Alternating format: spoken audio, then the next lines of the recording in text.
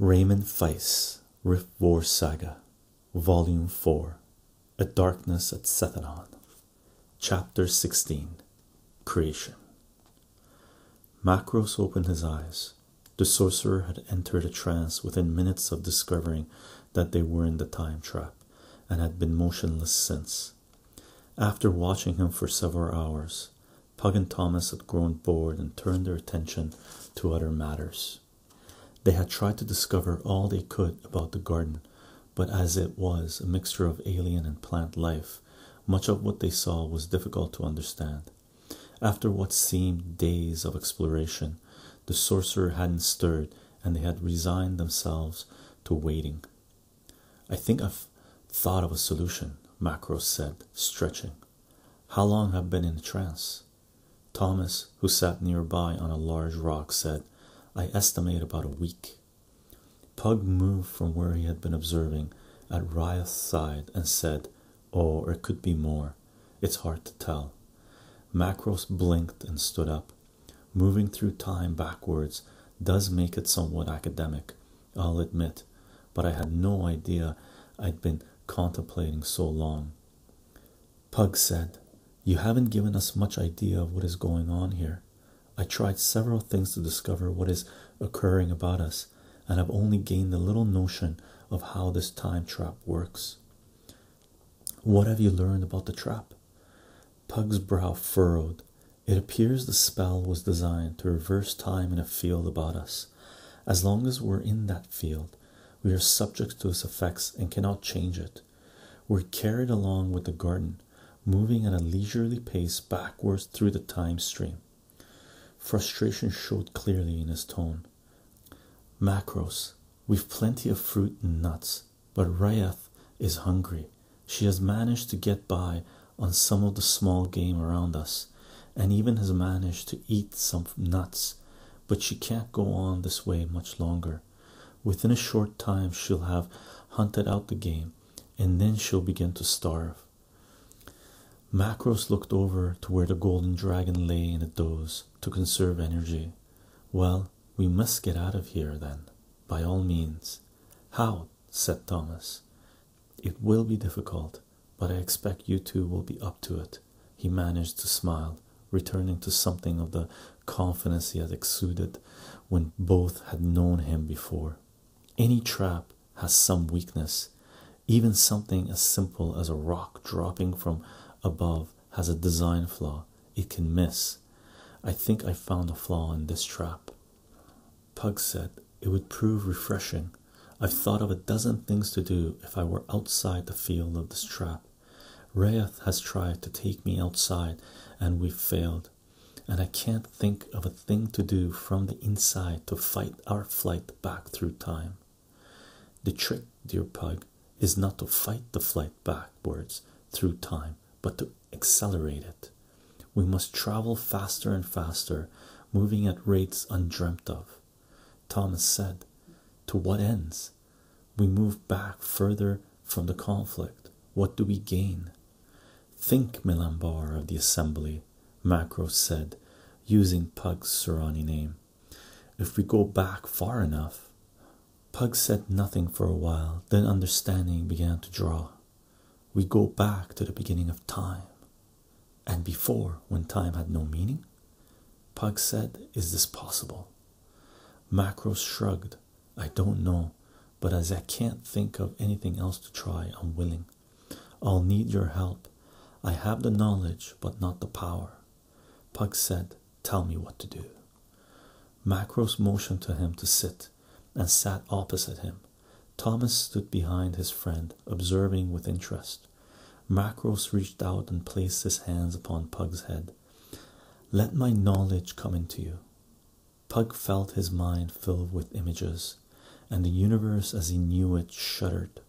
Only once before has he known the sense of panoramic awareness. That time he stood upon the tower of testing when he entered the ranks of the great ones. A more mature, more knowledgeable observer watched this time and understood so much more of what he sees the symmetry, the order, the stunning magnificence that spin about him, all tied together in some plan beyond his ability to perceive. He stands in awe. He casts his awareness about and again is astonished at the wonders of the universe about him. Now he again swims between the stars, again perceiving the mystic lines of force that bind together all things in the universe. He detects a tugging on those lines and sees something striving to enter this universe from another. It is foul, a cancerous thing that threatens the order of all that is.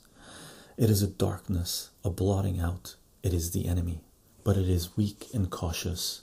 He ponders its nature as it falls away from his understanding. He is moving backward in time.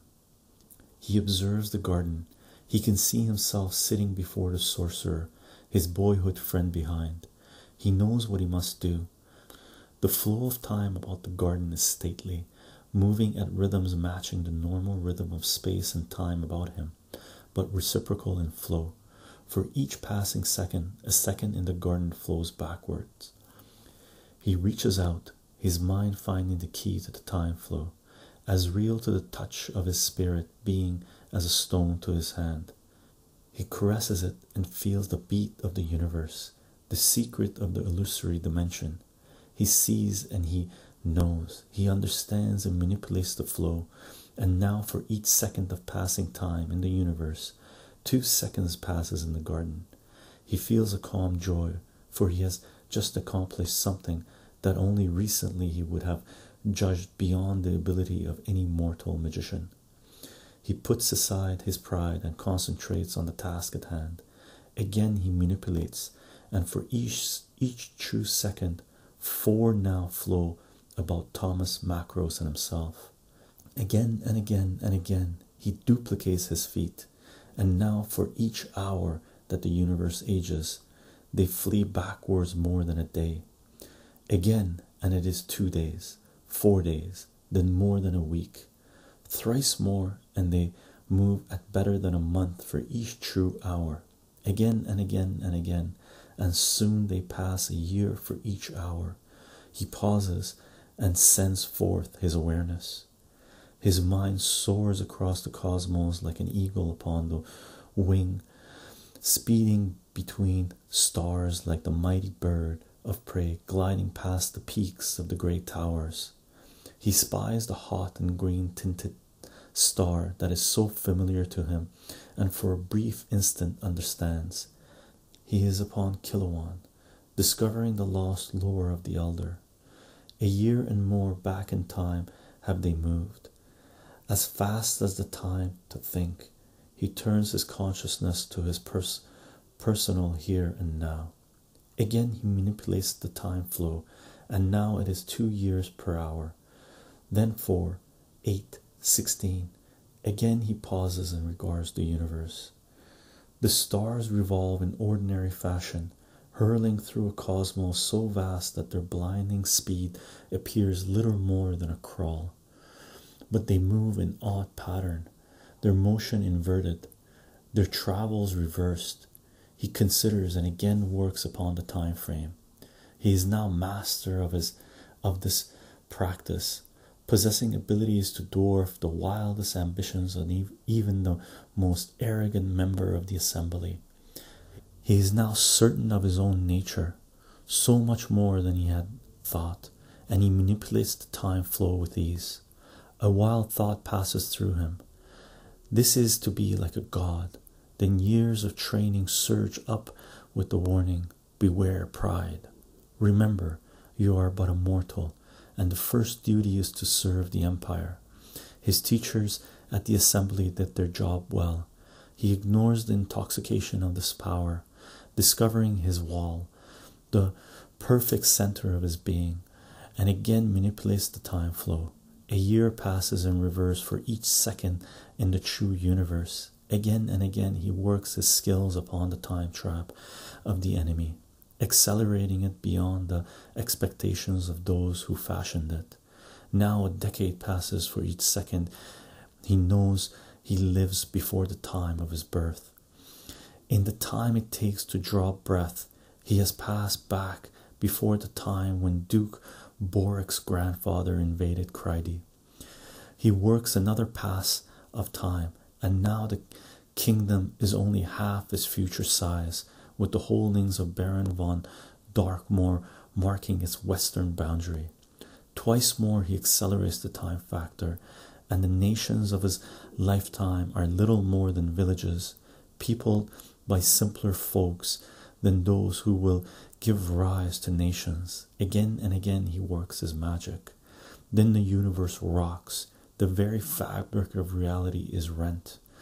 Energies impossible to fathom explode about him, violent beyond his ability to apprehend, and he, Pug, opened his eyes. He felt a strange dislocation about him, and for a moment his vision blurred. Thomas came to stand beside him and said, Are you all right? Pug blinked and said, Something out there changed. Thomas looked skyward. There's something happening. Macros regarded the heavens. Odd patterns and energies whirled madly across the filament while stars wobbled in the course. If we watch, we'll see things calm down in time. We're seeing this from back to front, remember. Seeing what? Pug asked. Thomas answered, The Chaos Wars. There was a hunted look in his eyes, as if something something in what occurred touched him deeply in a place he had not expected. But his face remained a mask while he watched the mad skies above. Macros nodded, standing up. He pointed heavenward. See, even now we are passing into a epoch before the chaos wars, the days of the mad god's rage, the time of star death, and whatever other colorful names myths and lore have conjured up for that period. Pug closed his eyes and felt his mind cold and numb, his head throbbing with a dull ache. Macro said, It appears we are moving at a rate of three, four hundred years a second in reverse time. Pug nodded. So for every three seconds, about a millennia passes, he calculated. That's a good start. Start? Questioned Pug. How fast need we move? By my calculation, billions of years. At a thousand years per second, we'll get back to the beginning in our lifetime, but just barely. We need better. Pug nodded, clearly fatigued, but he closed his eyes. Thomas looked skyward. The stars could now be seen to move, though, given their vast distances, it was still a slow movement.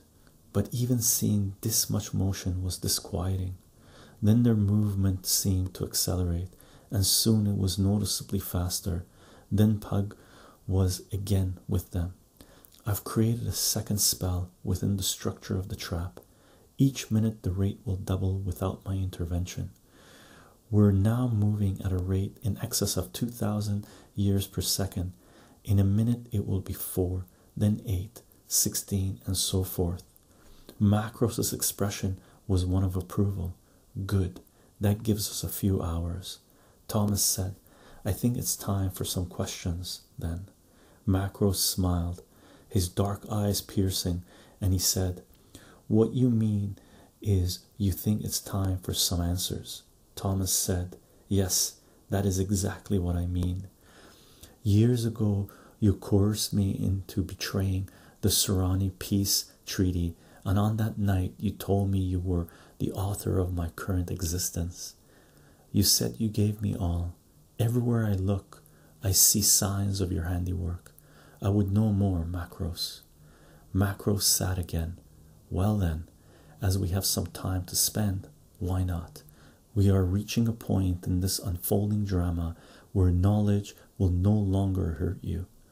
What would you know? He looked from Thomas to Pug. Pug glanced at his friend then looked hard at the sorcerer. Who are you?